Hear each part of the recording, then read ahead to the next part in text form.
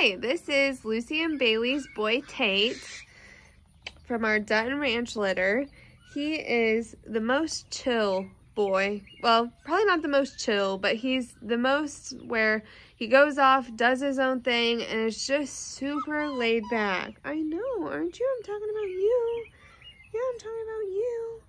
He's super sweet and gentle. Like, the kids love him because they'll just pick him up and he'll just snuggle right in. Um, that's what he wants. He wants me to turn him around so I can snuggle him. But I want you guys to see him. He's our black and white tri. And I don't know if you guys can see it or not, but he also has like the specking on his legs where he's got the, the different marks. I know. But he's got the beautiful copper markings on his face and his ears, as well as his butt and eyebrows, but we, we won't show them your butt. That's not very nice.